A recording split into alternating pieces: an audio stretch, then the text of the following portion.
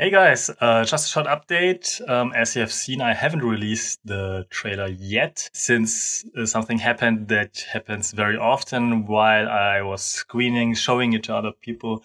I saw some things that we can improve, like the color grading in some spots and also visual effects shots. Um, but I guess it's just a matter of a couple of days, maybe next week. Um, talking about Cannes, it went uh, very well. I had some interesting talks, but as usual, you never know if something is coming out of that. But uh, they were really impressed by the new trailer and are reading the latest draft of the script now. Well, but before something substantial is developing from that, we should definitely secure the current path that we are on which means uh, we have to ask for your help and support again.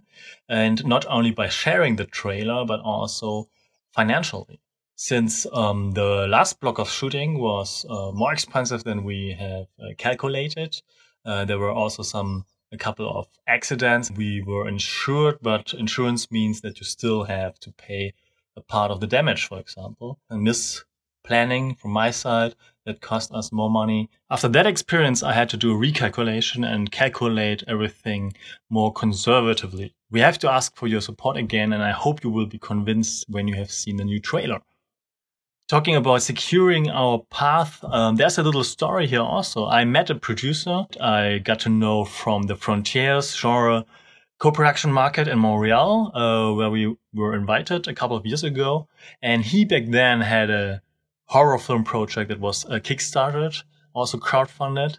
And in the last couple of years, it was uh, shot, completed, and released, and it was a big success story. So, so I went to him and I was congratulating him for that success, and he is proud of that. But it's a bittersweet thing. I mean, it is uh, still a success story, and I guess and I hope that he will uh, be able to build something up from that, and he's getting a new project uh, because of that uh, positive, very positive credit he has for producing that film.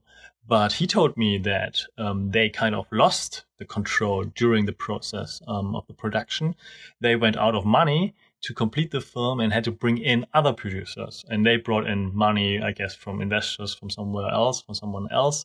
And so the film changed a bit. And in the end, um, they uh, didn't really see any money from the revenues. Um, so that's a bittersweet thing. And I guess we should do everything to uh, avoid a situation like that. So yeah, I hope that you will keep our ranks tightly together and that we will receive a renewed mandate by you very soon. See you in the next update.